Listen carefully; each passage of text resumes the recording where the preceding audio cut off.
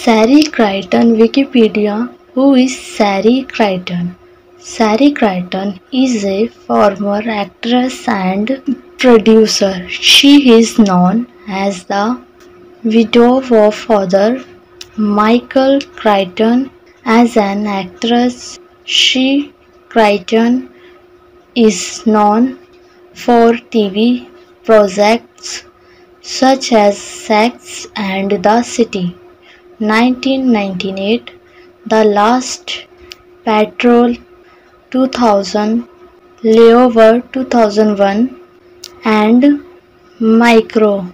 Sherri Crichton's husband, Sherri Crichton, was a married professionality at once.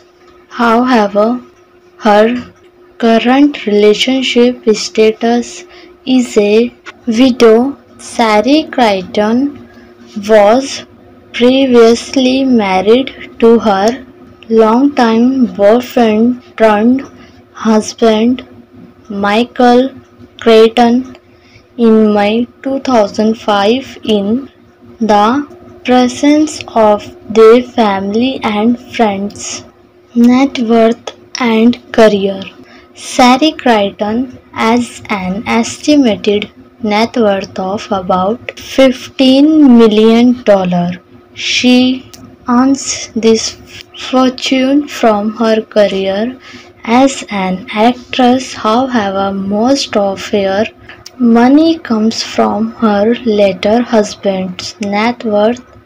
Her late husband, Sri Crichton, had a massive net worth of about $400 million.